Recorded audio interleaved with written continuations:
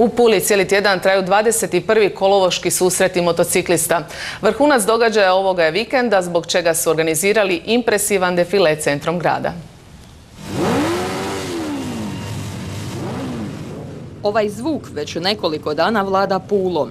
Stvaraju ga motocikli proizvedeni diljem svijeta, a dovezli su ih vozači iz cijele Europe.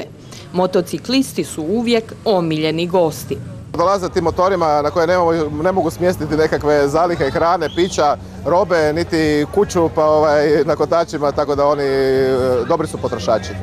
Ovo je možda najstariji motocikl na susretima, a ovaj pak najmanji. Dobne granice za sudjelovanje nema, a čini se da presudna nije ni fizička spremnost. Iznenađenja su brojna. Tko bi, na primjer, pogodio da je ovaj gospodin općinski službenik u Trstu? To je Harley Davidson 2009. godište, 1600 kubika, 360 kg.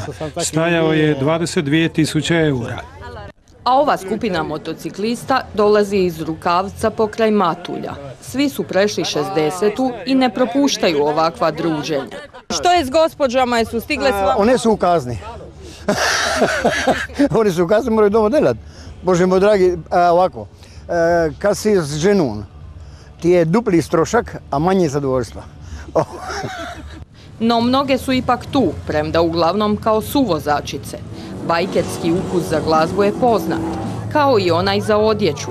A što najviše vole jesti i piti, pitali smo u restoranu u koji svraćaju već 20 godina. Sve u principu nisu uopće komplicirani. Ništa, pivo je normalno, broj jedan, to se podrazumijeva. Organizatori očekuju kako bi večeras u Puli moglo biti čak 10.000 motociklista. Vožnje nakon fešte neće biti.